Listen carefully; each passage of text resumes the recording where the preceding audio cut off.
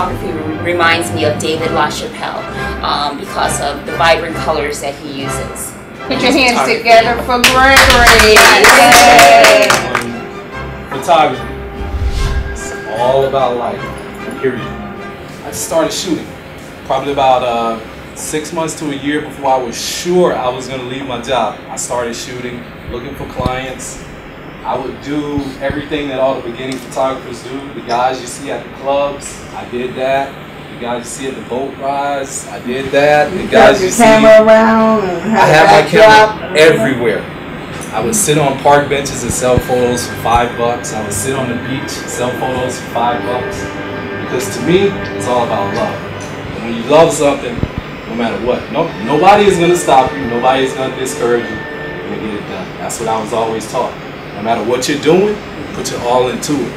If you don't put your all into it, you're wasting your time. There are three things that make up a, a good photographer. One, have to be an artist. Two, have to be a businessman. That's what that's where school and everything comes in.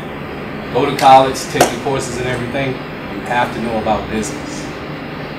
Third thing, and this may be the most important, you have to get clients. They're going to keep you in business, so you have to be good with people. Fashion photography, whole nother beast. We're right here in New York City, the absolute best place you can be to be a fashion photographer. Why? In this city, you have excellent teachers. Not okay teachers, excellent teachers. Some of the best fashion photographers in the world are right here in this city. That also means this is the hardest place to make it as a photographer. Because the competition is ridiculous. And it is cutthroat.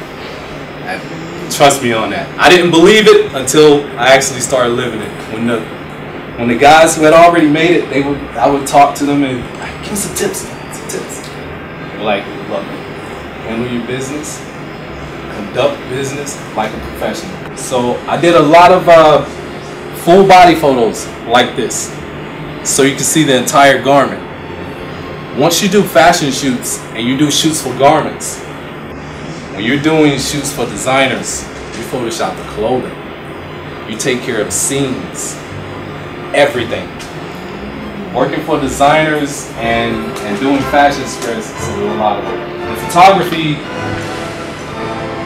to me, is like immortality. Is if they wrote on the board, we have the solution to immortality, everybody would have been, room would have been packed. This is the solution to immortality. Why? Because people are going to study the images that you produce in generations. It's all about what you put into it, how dedicated you are. And that's my goal.